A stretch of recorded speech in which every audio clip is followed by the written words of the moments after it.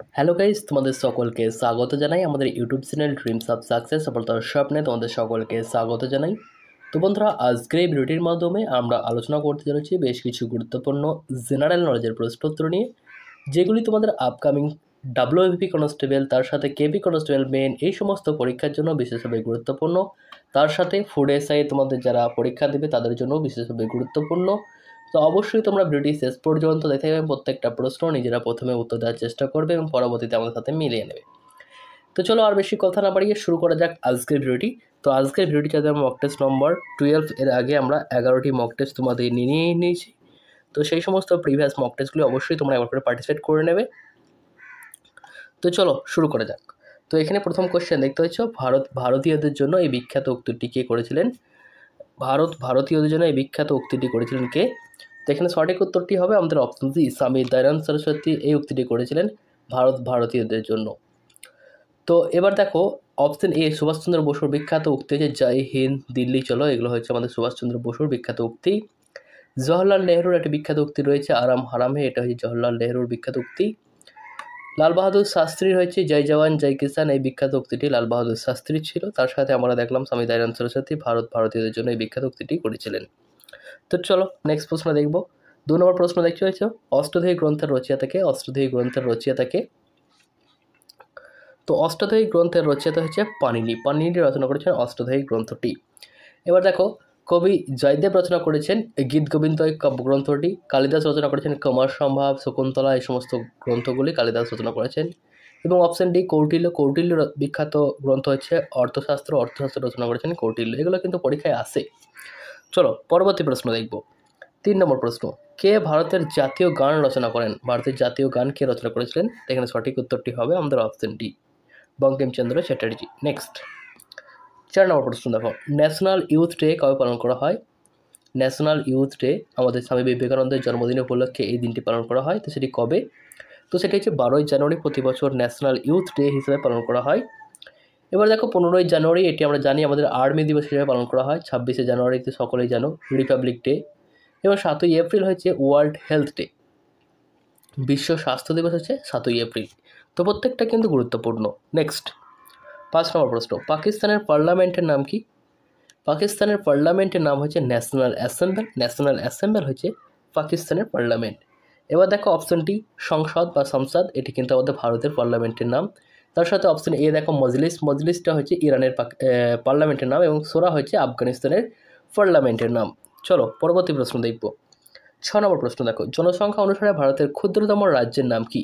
জনসংখ্যার ভিত্তিতে ভারতের ক্ষুদ্রতম রাজ্য হচ্ছে কোনটি? তো জনসংখ্যার ভিত্তিতে ভারতের ক্ষুদ্রতম রাজ্য হচ্ছে সিকিম এবং আয়তন যখন বলবে তখন কিন্তু গোয়া হবে। এবার, এরপর দেখো উত্তরপ্রদেশ। উত্তরপ্রদেশ এটা কিন্তু জনসংখ্যার দিক দিয়ে বৃহত্তম রাজ্য ভারতের এবং আয়তনের ভিত্তিতে বৃহত্তম রাজ্য হচ্ছে রাজস্থান। এগুলো কিন্তু একটু মনে রেখো। চলো, পরবর্তী প্রশ্নটা দেখব। হর্ষবর্ধন কবে সিংহাসনে বসেন? হর্ষবর্ধন সিংহাসনে বসেন কবে? তো হর্ষবর্ধন ছিলেন পুষ্যভূত বংশের রাজা। তো এই হর্ষবর্ধন সিংহাসনে বসেন ছশো ছয় খ্রিস্টাব্দে। এবং প্রিয়দর্শিকা, রত্নবলী গ্রন্থগুলি হর্ষবর্ধনের রচনা, এগুলো কিন্তু মনে রেখো। চলো, আট নম্বর প্রশ্ন দেখো। রাজিয়া কত খ্রিস্টাব্দে দিল্লির সিংহাসনে বসেন? রাজিয়া সুলতানা ইলতুতমিশের কন্যা কত খ্রিস্টাব্দে সিংহাসনে বসেছিলেন? তো তিনি একমাত্র সাম্রাজ্যিনী যিনি দিল্লির সিংহাসনে বসেছিলেন, তো তিনি বারোশো ছত্রিশ খ্রিস্টাব্দে রাজিয়ার সুলতানা ইলতুতমিশের কন্যা তিনি কিন্তু সিংহাসনে বসছেন। সিংহাসনে বসছেন বারোশো ছত্রিশ খ্রিস্টাব্দ। তো option C is the right answer next আট নম্বর, ন নম্বর প্রশ্ন দেখো। অনিলা দেবী ছদ্মনামটি কার? অনিলা দেবী ছদ্মনামটি কার? অনেকবার পরীক্ষায় এসছে এবং এই ছদ্মনাম থেকে কিন্তু প্রত্যেকবার কিছু না কিছু কোশ্চেন থাকে। তো অবশ্যই প্রত্যেকটা ছদ্মনাম তোমরা দেখে রাখবে। তো এখানে সঠিক উত্তরটি হবে অপশন ডি শরৎচন্দ্রের ছদ্মনাম আছে অনিলা দেবীর ছদ্মনাম। চলো নেক্সট তার আগে আমরা জেনে রাখি, এই সমরেশ মজুমদারের একটি ছদ্মনাম রয়েছে, সেটি হচ্ছে কালপুরুষ, বঙ্কিমচন্দ্র হয়েছে কমলাকান্ত এবং কাজী নজরুল ইসলামের ছদ্মনাম হয়েছে ব্যাঙাচি। এগুলো কিন্তু পরীক্ষায় আসে। নেক্সট দশ নম্বর প্রশ্ন দেখো। আদনান স্বামী কোন বাদ্যযন্ত্রের সাথে যুক্ত ছিলেন? আদনান স্বামী, তিনি কোন বাদ্যযন্ত্রের সাথে যুক্ত ছিলেন? তো বাদ্যযন্ত্রের সাথে যুক্ত ব্যক্তিগুলো কিন্তু ভীষণভাবে গুরুত্বপূর্ণ। তাই সঠিক উত্তরটি হবে অপশন সি পিয়ানোর সাথে যুক্ত আদনান স্বামী এবং তবলার সাথে যুক্ত বিখ্যাত ব্যক্তি হয়েছেন জাকির হোসেন, যেটা বারবার পরীক্ষায় আসি। তার সাথে ওস্তাদ আল্লাহ রেখা খান, তিনিও কিন্তু তবলার সাথে যুক্ত এবং সেতারের সাথে যুক্ত রবি শঙ্কর বিখ্যাত একটি নাম, যেটা কিন্তু পরীক্ষায় বারবার আসে। সানাইয়ের সাথে যুক্ত ওস্তাদ বিসমিল্লা খান, এটাও কিন্তু অনেকবার রিপিট হয়েছে পরীক্ষায়। চলো নেক্সট এগারো নম্বর প্রশ্ন দেখো। মানুষের দাঁতের কঠিন অংশের নাম কি? মানুষের দাঁতের কঠিন অংশের নাম কি? তো মানুষের দাঁতের কঠিন অংশের নাম হচ্ছে এনামেল এনামেল হচ্ছে মানুষের দাঁতের কঠিন অংশের নাম। এনামেল এটি দাঁতের বাইরে শক্ত আবরণ যা ক্যালসিয়াম ও ফসফেট দ্বারা গঠিত। এটি মানুষের দেহের সবথেকে মানে কঠিনতম অংশ হচ্ছে বা কঠিনতম বস্তু হচ্ছে এটাই। ঠিক আছে? চলো, পরবর্তী প্রশ্নটি দেখে নেব। বারো নম্বর প্রশ্ন। অ্যানিমোমিটার যন্ত্রের সাহায্যে কি পরিমাপ করা হয়? অ্যানিমোমিটার যন্ত্রের সাহায্যে কি পরিমাপ করা হয়?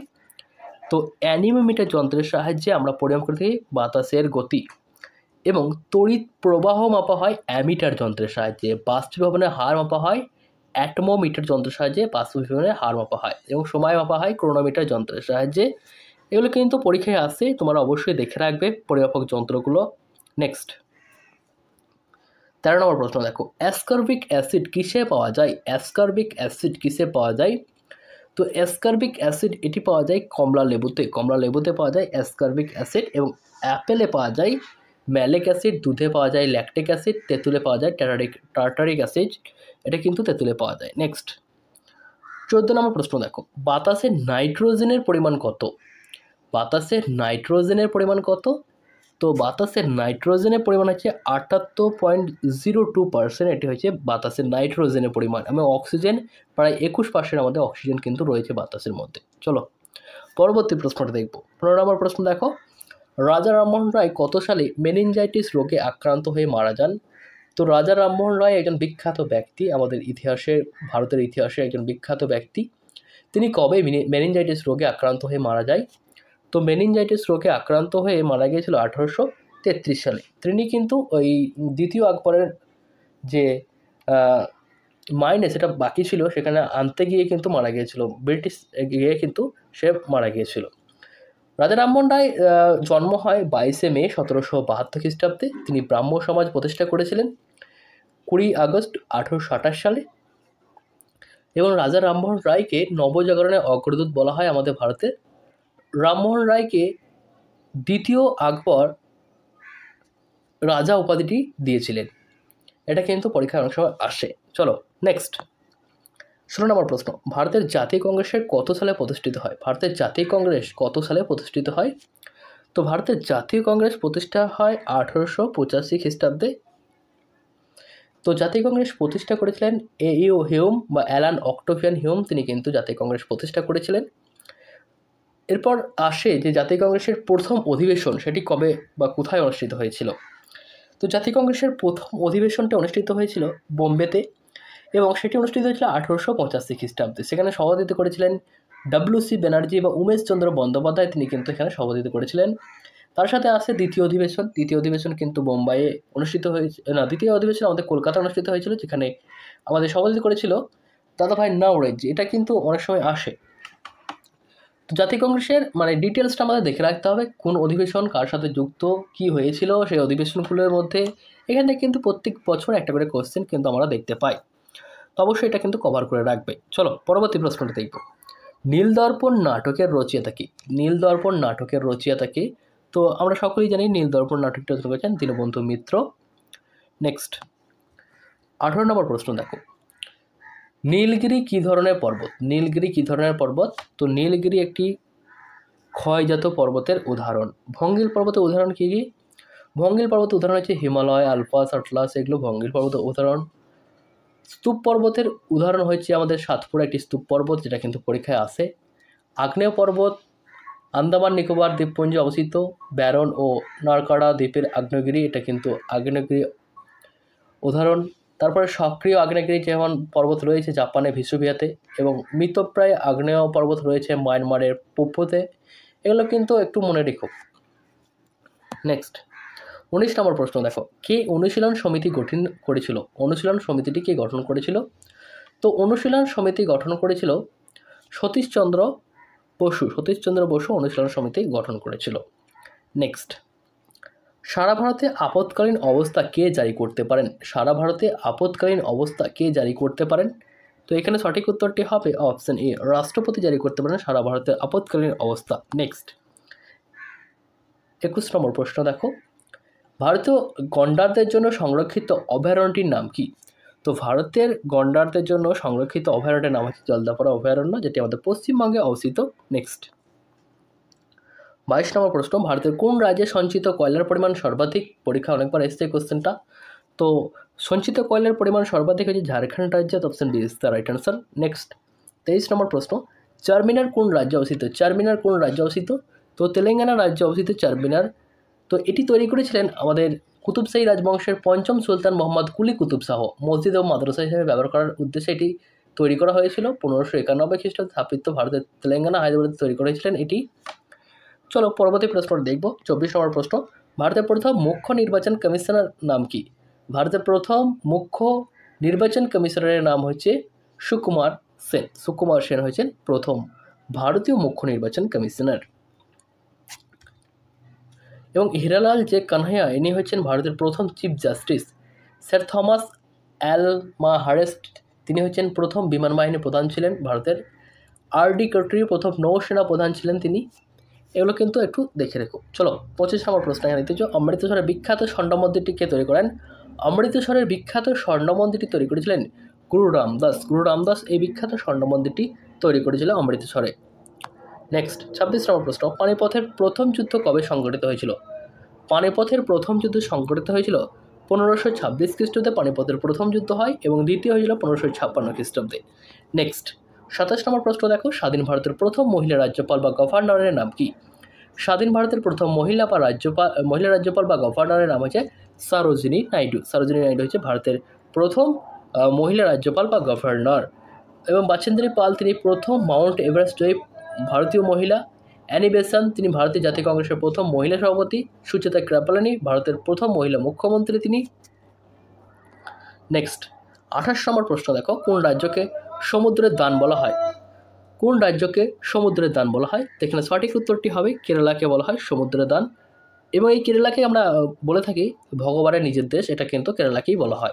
চলো, পরবর্তী প্রশ্ন দেখব। বিশ্ব পরিবার দিবস পালন করা হয় কবে? বিশ্ব পরিবার দিবস পালন করা হয় কবে? তো বিশ্ব ফ্যামিলি দিবস পালন করা হয় পয়লা জানুয়ারি। পয়লা জানুয়ারি এই দিনটিকে বিশ্ব পরিবার দিবস হিসেবে পালন করা হয়। দোসরা জানুয়ারি বিশ্ব জনসংখ্যা নিয়ন্ত্রণ দিবস। বারোই জানুয়ারি আমরা দেখলাম জাতীয় যুব দিবস বিবেকানন্দের জন্মদিন উপলক্ষে পালন করা হয়। পনেরোই জানি, জানুয়ারি এটাও আমরা দেখেছি আগে, জাতীয় সৈন্য দিবস পালন করা হয় পনেরোই জানুয়ারি এই দিনটিকে। নেক্সট ত্রিশ নম্বর প্রশ্ন দেখো, ভারতের পক্ষী মানব কাকে বলা হয়? ভারতের পক্ষী মানব বলা হয় সেলিম আলীকে। সেলিম আলীকে বলা হয় ভারতের পক্ষী মানব। অনেক সময় কোয়েশ্চেনটা এসেছে পরীক্ষায় এবং আবারও আসতে পারে। চলো নেক্সট প্রশ্নটা দেখব। একত্রিশ নম্বর প্রশ্ন দেখো, একটি গুরুত্বপূর্ণ প্রশ্ন রয়েছে। A century is not enough বইটি রচিয়া থাকে a century is not enough বইটি রচিয়া থাকে তো এই বইটি রচনা করেছেন সৌরভ গাঙ্গুলি অর্থাৎ আমাদের দাদা নেক্সট নেক্সট বত্রিশ নম্বর প্রশ্ন দেখো ভিটামিন সি এর অভাবে নিচের কোন রোগ দেখা যায়? ভিটামিন সি এর অভাবে নিচের রোগ দেখা যায় কোনটি? তো ভিটামিন সি এর অভাবে স্কারভিয়া রোগটি দেখা যায়, যেটি কিন্তু দাঁতে আক্রমণ হয়। তো এবার দেখো ভিটামিন এ এর অভাবে যে রোগটি হয়, সেটা হচ্ছে রাতকানা। ভিটামিন বি ওয়ানের অভাবে বেরি বেরি রোগটি হয়ে থাকে। ভিটামিন বি টু এর অভাবে মুখে ঘা হয়। ভিটামিন বি থ্রিতে প্লেগ্রা রোগ হয়। ভিটামিন বি সিক্সের অভাবে নিউরোপ্যাথি রোগ হয়ে থাকে। ভিটামিন বি টুয়েলভের অভাবে রক্ত শূন্যতা দেখা যায়। ভিটামিন সি এর অভাবে স্কারভিয়া রোগ হয়। ভিটামিন ডি এর অভাবে রিকেট রোগ হয়। এটা কিন্তু ভীষণভাবে গুরুত্বপূর্ণ ডিটা রিকেট রোগটি হয়। এবং অ্যাস্টিওমোলাসিয়া রোগটি ভিটামিন ডি এর অভাবে হয়ে থাকে, ভিটামিন ই এর অভাবে হিমোলো রোগটি হয়ে থাকে। তো এইগুলো কিন্তু আমাদের জানতে হবে। চলো, পরবর্তী প্রশ্নটি দেখে নেব। পরবর্তী প্রশ্ন এখানে দেখতে তেত্রিশ নম্বর প্রশ্ন, ভারতের প্রথম সবাক চলচ্চিত্র হলো কোনটি? তো আমরা জানি ভারতের প্রথম সবাক চলচ্চিত্র হচ্ছে Alam Ara option B is the right answer. Next, চৌত্রিশ নম্বর প্রশ্ন, কে কুতুব মিনার নির্মাণ কার্য সমাপ্ত করেন? কুতুব মিনার নির্মাণ কার্য সমাপ্ত করেছিলেন কে? তো কুতুব মিনার নির্মাণ কার্য সমাপ্ত করেছিলেন ইলতুতমিশ এবং শুরু করেছিলেন এটা কিন্তু কুতুবুদ্দিন আইবক। নেক্সট পঁয়ত্রিশ নম্বর প্রশ্ন। কে খালসা প্রবর্তন করে? খালসা প্রথার প্রবর্তন কে করেছিলেন? তো খালসা প্রথা প্রবর্তন করেছিলেন Gobind Singh option C is the right answer next Hindi, Hind, Hindi, Hindu কে প্রচার করেছিলেন? হিন্দ, হিন্দি, হিন্দু কে প্রচার করেছিলেন? তো এটি প্রচার করেছিলেন লালা লাজপত রায়, অর্থাৎ option is the right answer next মেনা, কোন দেশের সংবাদ সংস্থা? মেনা, এটি হচ্ছে মিশরের একটি সংবাদ সংস্থা, অর্থাৎ option is the right answer আটত্রিশ নম্বর প্রশ্ন, বাজারের শহর কাকে বলা হয়? বাজারের শহর কাকে বলা হয়? তো মিশরের রাজধানী কায়রোকে বলা হয় বাজারের শহর option B is the right answer next উনত্রিশ নম্বর প্রশ্ন সকারি উপাধি লাভ করেছিলেন কোন গুপ্ত সম্রাট? তো সকারি উপাধিটি ধারণ করেছিলেন দ্বিতীয় চন্দ্রগুপ্ত, যাকে বিক্রমাদিত্য বলা হয়। তো ইনি এই সকারি উপাধি গ্রহণ করেছিলেন। তার শাসনকালে প্রাচীন ভারতের ইতিহাসের স্বর্ণযুগ বলে অভিহিত করা হয়ে থাকে। এবং এই যে দ্বিতীয় চন্দ্রগুপ্ত, তার কিন্তু সময়কাল হচ্ছে তিনশো পঁচাত্তর থেকে চারশো পনেরো খ্রিস্টাব্দ পর্যন্ত। এবং এই এই দ্বিতীয় চন্দ্রগুপ্তের পিতার নাম ছিল সমুদ্রগুপ্ত, যাকে ভারতের নেপোলিয়ন বলা হতো। নেক্সট চল্লিশ নম্বর প্রশ্ন দেখো আজীবক ধর্মের প্রবক্তা কে ছিলেন? আজীবক ধর্মের প্রবক্তা কে ছিলেন? তো আজীবক এই না ধর্মটি প্রবর্তন করেছিল গোসাল। গোসাল এই ধর্মের প্রবর্তন করেছিলেন। তিনি গৌতম বুদ্ধের সমসাময়িক ছিলেন। চলো পরবর্তী প্রশ্নটি দেখে নেব, যেটা তোমাদের আজকে হোমওয়ার্ক সেটা রকেটের কার্যনীতি নিউটনের কোন গতিসূত্রের ওপর নির্ভরশীল? এটি তোমাদের আজকের হোমওয়ার্ক থাকল। তোমরা সকলেই এই কোশ্চেনের অ্যান্সারটা কমেন্ট বক্সে কমেন্ট করে জানাবে। এবং এই চল্লিশটা কোশ্চেন করলাম। সেই চল্লিশটা কোশ্চেনের মধ্যে কতগুলো স্কোর তুমি করতে পারলে? কতগুলো ঠিক হলো, কতগুলি ভুল হলো সেটাও জানাবে। কেমন লাগল ভিডিও সেটাও তোমরা জানাতে ভুলো না। তো চলো দেখা হচ্ছে নেক্সট ভিডিওতে তো তোমরা ভালো থেকো, সুস্থ থেকো থ্যাংকস ফর ওয়াচিং